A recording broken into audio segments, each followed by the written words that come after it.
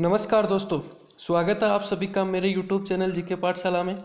दोस्तों, आज हम बात करेंगे राजनीति विज्ञान का जो आधुनिक दृष्टिकोण है उसके बारे में। इससे पहले परंपरागत दृष्टिकोण हम पढ़ चुके हैं। तो आधुनिक दृष्टिकोण में क्या, कैसे इसकी शुरुआत हुई इसके बारे में देखते हैं। तो सबसे पहले देखते हैं इसका अर्थ। द्वितीय विश्व युद्ध के बाद राजनीति शास्त्र में कुछ आमूल चूल परिवर्तन हुए थे। देखो, आमूल चूल परिवर्तन मतलब है कि एक तरह से क्रांति की तरह। क्रांति में भी वही होता है, एक आमूल चूल परिवर्तन होते हैं। तो आमूल चूल परिवर्तन हुए, जिसके कारण मूल्य सापेक्ष और जो संस्थागत और जो औपचारिक अध्ययन है हमने पढ़ा था परंपरागत दृष्टिकोण में कि किसके ऊपर ज़ोर देते थे? मूल्यों के ऊपर। मूल्य सापेक्ष अध्ययन था और संस्थागत और फॉर्मलिटी एक तरह से, संस्थागत मतलब राज्य और सरकार से संबंधित थे। तो उनके स्थान पर देखो, मूल्य निरपेक्ष। तथा अनौपचारिक अध्ययनों पर बल दिया गया। मूल्य निरपेक्ष यानी तथ्य और तकनीक का ज़्यादा समावेश किया गया। मूल्यों को छोड़ दिया गया। फिर बाद में जब उत्तर व्यवहारवाद आया, व्यवहारवाद ने मूल्यों को छोड़ दिया था, बाद में उत्तर व्यवहारवाद आया तो उसने वापस मूल्यों को क्या किया था? समावेश किया था। लेकिन जो आधुनिक दृष्टिकोण की बात करें तो इसने क्या जब मूल्यों को एक तरह से नेग्लेक्ट करके क्या नया अध्ययन शुरू किया था, अनौपचारिक अध्ययनों पर बल दिया, अर्थात संस्थागत अध्ययनों की जगह देखो क्या किया इन्होंने। राजनीतिक व्यवस्था, यानी राज्य और सरकार की जगह देखो कौन कौन कौन चीज़ें आ गई? शक्ति, सत्ता, प्रभाव, निर्णय निर्माण, नीति निर्माण, वैधता, राजनीतिक विकास, राजनीतिक आधुनिकरण राजनीतिक संस्कृति, राजनीतिक अभिजन, राजनीतिक समाजीकरण इत्यादि को अध्ययन क्षेत्र में शामिल कर लिया गया। यहाँ राजनीति विज्ञान देखो क्या क्या अपने दरवाजे खोल दिए। क्योंकि पहले राजनीति विज्ञान क्या था? राजनीति विज्ञान सिर्फ़ राजनीति का अध्ययन था। यहाँ फिर देखो संस्कृति भी आ गई, फिर समाज भी आ गया। पॉलिटिकल डेवलपमेंट जो आधुनिक चीज़ें वो नीति निर्माण नीतियों से संबंधित जो समाजशास्त्र है, वो भी चीज़ें आ गई। यानी अंतशास्त्रीयता इन्होंने स्थापित कर दी फिर। यानी दूसरी विषयों के साथ संबंध। यानी राजनीति विज्ञान ने अपन कह सकते हैं कि एक तरह से अपने दरवाजे खोल दिए। ताकि इसमें क्या है, अन्य चीज़ों का भी समावेश होता रहे, जिससे राजनीति विज्ञान का क्षेत्र क्या हो गया, फिर और ज़्यादा बड़ा हो गया, विस्तृत हो गया। तो ये था आधुनिक दृष्टिकोण।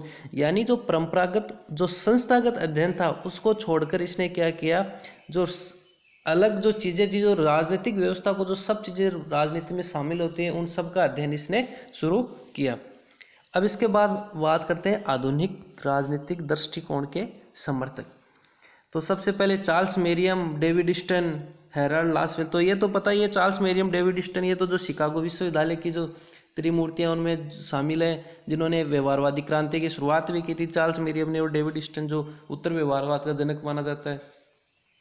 आमंड पावेल, कैटलिन, इसके बाद Robert Dahl, Robert Nozick, Lucian Pye है, मार्गिन थाउ है, John Rawls, Sidney Verba, S P Hamilton इसके बाद फ्रीडमैन है, स्नाइडर है। ये सारे क्या है? आधुनिक दृष्टिकोण के समर्थक है। इसमें जो कई है ना, सिडनी वर्बा है, लूशियन पाई है, ये है जो आधुनिक विचारक है। हमने उसमें भी पढ़ा था, जो राजनीतिक विकास का पता ना, उसमें भी इन विचारकों के बारे में पढ़ा था। अब सबसे पहले बात करते हैं आधुनिक दृष्टिकोण के जो विशेषताएँ हैं, उनके बारे में। देखो, जो परंपरागत दृष्टिकोण है, उससे जस्ट क्या हो जाएँगे? एक तरह से उल्टी हो जाएँगी। परंपरागत जो पुराना दृष्टिकोण था, उसका एकदम विपरीत है, वो क्या है? आधुनिक दृष्टिकोण है। तो सबसे पहली बात आती है अध्ययन क्षेत्र में व्यापकता एवं गुणात्मक परिवर्तन। देखो, परंपरागत में क्या था? परंपरागत में था संकीर्ण और संकुचित अध्ययन था।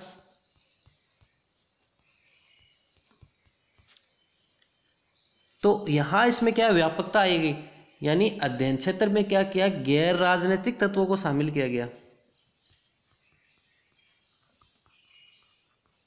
भाई, मनुष्य क्या है? गैर राजनीतिक तत्व जैसे उसके समाज उसको प्रभावित करता है। आर्थिक स्थितियाँ, परिस्थितियाँ आर्थिक पर्यावरण प्रभावित करता है। सांस्कृतिक पर्यावरण, भौगोलिक पर्यावरण, ये सारी चीज़ें भी क्या उसको प्रभावित करती है। तो इनका अध्ययन क्या है? इसके ऊपर भी क्या बल दिया गया।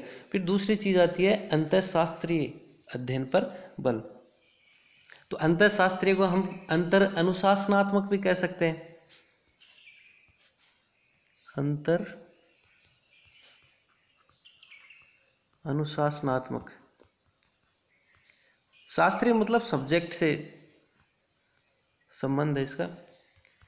तो अंतरशास्त्रीय दृष्टिकोण क्या कहता है? देखो, इस दृष्टिकोण के अनुसार जो राजनीति विज्ञान है, उसका अन्य समाज विज्ञान है, उनके साथ क्या है? अध्ययन करना चाहिए। आधुनिक विचार के हैं, उन्होंने राजनीति विज्ञान का जो अध्ययन है, वो अन्य समाज विज्ञानों के संदर्भ में करने पर बल दिया था।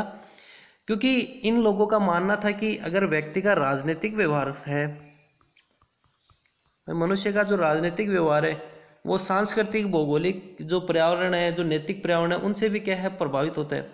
तो अगर हम सब चीज़ों को मिलाकर चलेंगे ना तो अपने अध्ययन में क्या आ जाएगी, समग्रता, एकता आएगी। तो ये अंतरशास्त्रीय अध्ययन पर बल दिया था, ये भी इस सिद्धांत की क्या है, मुख्य विशेषता है। तीसरी चीज़ आती है राजनीति की व्यवहारवादी व्याख्या। व्यवहारवाद से मतलब है कि मानव के व्यवहार के अध्ययन के ऊपर इन्होंने क्या किया था, ज़्यादा ज़ोर दिया था। इन्होंने ये कहा था कि संस्थाओं का अध्ययन करोगे ना आप, संस्थाओं के अध्ययन से कुछ नहीं होने वाला। व्यक्ति का अध्ययन आपको करना चाहिए। भाई, आधुनिक विचारक क्या है? मानव के व्यवहार में नियमितता खोजने पर बल देते हैं। एक तरह से देखा जाए तो ये पॉसिबल है नहीं चीज़, लेकिन जो आधुनिक विचारक है, वो व्यवहार में नियमितता खोज रहे हैं ताकि क्या करें? एक पर्टिकुलर सिद्धांत निर्माण किया जा सके और राजनीति विज्ञान को क्या है? विशुद्ध विज्ञान बनाया जा सके। भाई, निश्चित व्यवहार का अध्ययन करोगे, उससे कुछ ना कुछ नियम या सिद्धांत निकल के आएँगे। और यही क्या है? इनकी मुख्य विशेषता थी कि राजनीति विज्ञान को क्या है? विशुद्ध विज्ञान बनाने पर ज़ोर दे रहे थे। फिर चौथी चीज़ आती है मूल्य निरपेक्ष अध्ययनों पर बल। देखो, वैसे मूल्य निरपेक्ष मूल्य निरपेक्ष कहाँ तक ही सीमित रह गया था? सिर्फ़ व्यवहारवाद तक ही। तो ये व्यवहारवाद तक की बात चल रही उसके बाद मूल्य क्या है? वापस समाहित कर लिए गए थे जो उत्तर व्यवहारवाद आया था उसमें। तो मूल्य निरपेक्ष अध्ययन की बात करें तो आधुनिक विचारक ने क्या किया था? तथ्य और मूल्यों को क्या किया? अलग अलग करने पर बल दे दिया था। जो चार्ल्स मेरियम वगैरह थे। इन्होंने क्या कहा था? मूल्यों को एक तरह से त्याग दिया था। तो मूल्यों को और तथ्यों को, इनको अलग अलग किया और जो नया दृष्टिकोण है, उसमें तथ्य आधारित अध्ययन इन्होंने क्या किया? प्रारंभ किया। फैक्ट के ऊपर भाई साइंस किसके ऊपर आधारित है, तथ्यों के ऊपर आधारित। और ये राजनीति को क्या बनाना चाहते थे? विशुद्ध विज्ञान। तो इन्होंने क्या किया? तथ्यों के ऊपर आधारित अध्ययन को आगे बढ़ाया, जिससे जो निष्कर्ष निकले ना, वो क्या हो? विश्वसनीय हो।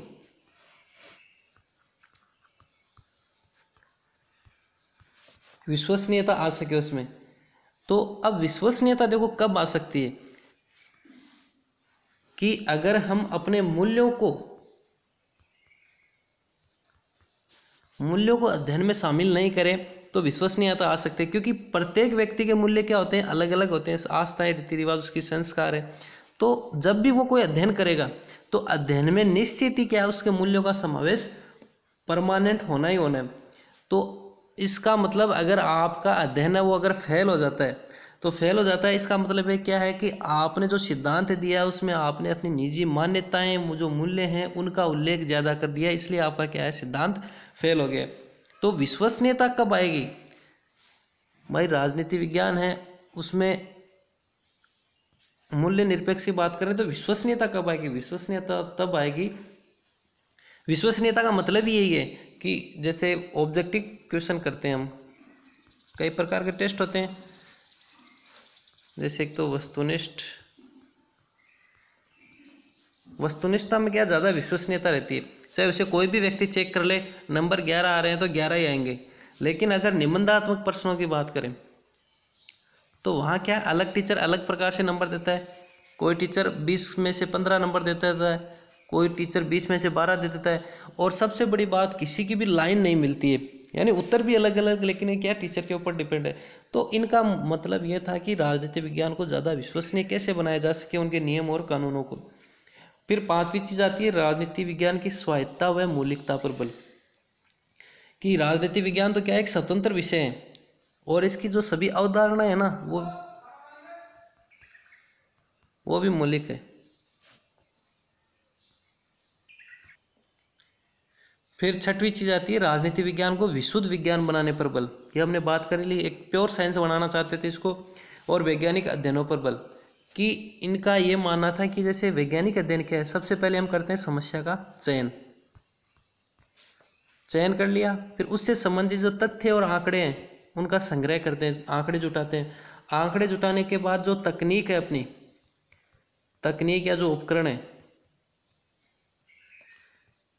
उसकी सहायता से हम इन तथ्यों का क्या करते हैं? निष्कर्ष निकालते हैं। और निष्कर्ष निकालने के बाद क्या हो जाता है? सिद्धांत निर्माण। ये है वैज्ञानिक पद्धति। तो इनके पास क्या थी? वैज्ञानिक पद्धति के ऊपर इन्होंने ज़्यादा ज़ोर दिया था। और जबकि जो परंपरागत जो दृष्टिकोण है, उसमें क्या है? वही ऐतिहासिक पद्धति थी, वो वाली पद्धतियाँ थी पुरानी। और आनुभाविकता। यानी अनुभव आधारित जो राजनीति अध्ययन है, उसके ऊपर ये ज़्यादा बल देते थे। तो ये कुछ इसकी विशेषताएँ थी। अब बात करते हैं राजनीतिक, जो आधुनिक दृष्टिकोण उसका विकास किस प्रकार से हुआ है? तो वैसे तो राजनीतिक दृष्टिकोण का विकास है सेकेंड वर्ल्ड वार के बाद हुआ था। लेकिन देखो, कोई भी चीज़ है, वो अचानक नहीं होती है। देखो, हर विकास ऐसे ही होता है, ऊपर की तरफ़ ऐसे।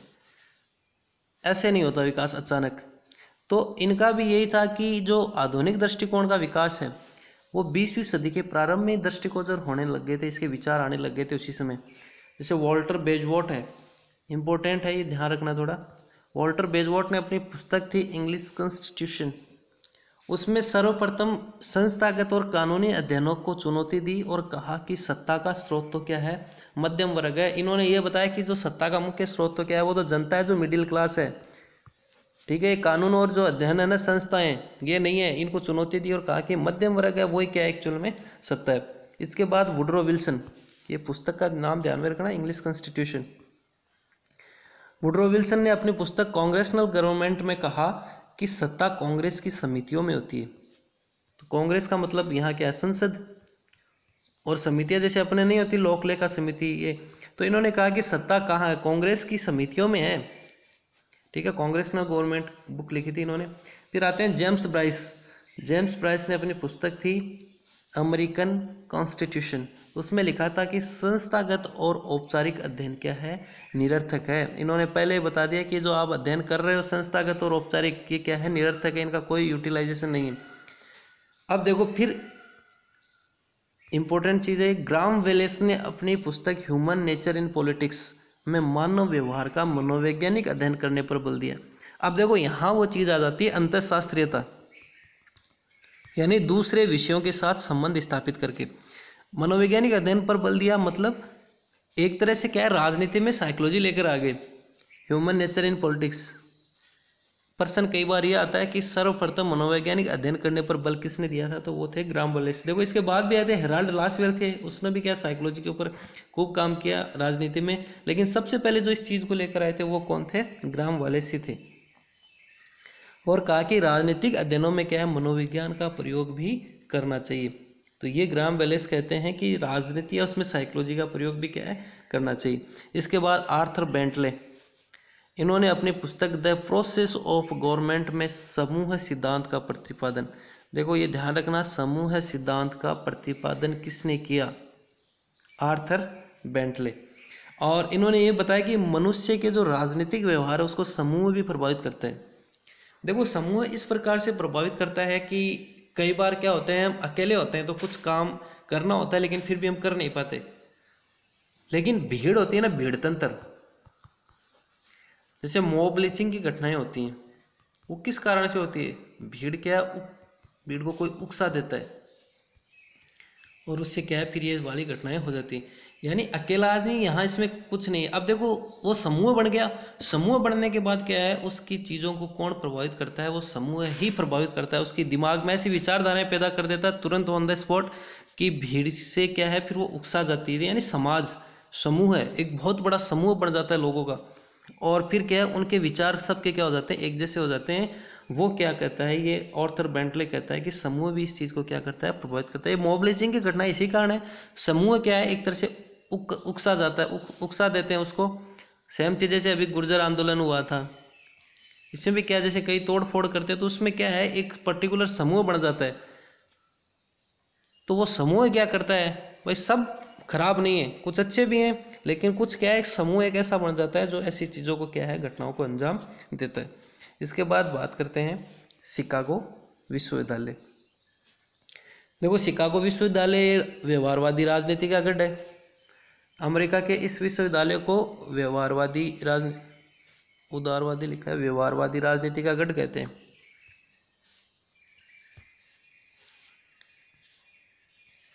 चेंज कर लेना इसको थोड़ा। व्यवहारवादी राजनीति का गढ़ कहते हैं। और जो चार्ल्स मेरियम है इनको व्यवहारवाद का जनक भी कहते हैं, या बौद्धिक पिता भी कह सकते हो आप। चार्ल्स मेरियम ने अपनी प्रसिद्ध पुस्तक न्यू एस्पेक्ट्स ऑफ़ पॉलिटिक्स, यानी राजनीति के नए आयाम 1925 में लिखा कि परंपरावादी जो अध्ययन है, वो अपनी सार्थकता खो चुके हैं और सिद्धांत निर्माण में असफल हो गए अतः अब हमें व्यवहारवादी बनना पड़ेगा। तो यही सबसे पहले व्यवहारवाद लेकर आए थे चार्ल्स मेरियम, और इन्होंने जो पुराना जो अध्ययन चल रहा था पारंपरिक जो अध्ययन प्रणाली चल रही थी, उसको कहा कि वो हमने पहले बात उसमें करी थी कि जब द्वितीय विश्व युद्ध हुआ था और उसमें इनको आमंत्रित नहीं किया गया था, ये उत्तर व्यवहारवाद व्यवहारवाद में हमने पढ़ रखा है। तो इन्होंने फिर क्या कहा कि अब हमें क्या है, व्यवहारवादी बनना पड़ेगा। तो शिकागो विश्वविद्यालय की त्रिमूर्तियाँ कहलाती है। ये पीवी स्मिथ है, चार्ल्स मेरियम है और Harold Lasswell. P V Smith, Charles Merriam और हेराल्ड लासवेल। क्वेश्चन आता है कई बार। बाद में क्या होता है, ये चार्ल्स चार्ल्स मेरियम की मृत्यु के बाद देखो ईस्टर्न आ जाता है यहाँ। ईस्टर्न भी आता है, फिर एडवर्ड सिल्स आता है, कार्ल डाइस आता है, ये सारे बाद में आते हैं। चार्ल्स मेरियम की मृत्यु के बाद। अब देखो हेराल्ड लास्टवेल ने अपनी पुस्तक साइकोपैथोलॉजी, देखो हमने बात करी थी ना, यहाँ हेराल्ड लास्टवेल भी क्या है, साइको ले आए थे। और सबसे पहले जो साइको का अध्ययन किया था, वो किसने किया था? ग्राम वालेस ने किया था। तो हेराल्ड लास्टवेल ने अपनी पुस्तक साइकोपैथोलॉजी एंड पॉलिटिक्स में राजनीति पर मनोविज्ञान के प्रभाव का उल्लेख किया और उन्होंने अपनी रचना कौन, क्या, कब, कैसे प्राप्त करता है, इसमें राजनीति शास्त्र प्रभावशालियों का प्रभाव का अध्ययन बताता है कि राजनीति शास्त्र में जो प्रभावशाली है और उनका प्रभाव है, उनके अध्ययन को क्या है इसमें बताया गया है।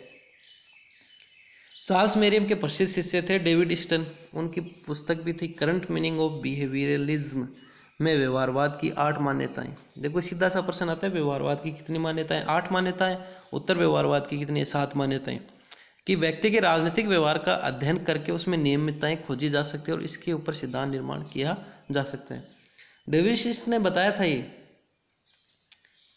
कि आप मनुष्य के व्यवहार का अध्ययन करके एक पर्टिकुलर क्या कर सकते हो, नियम बना सकते हो।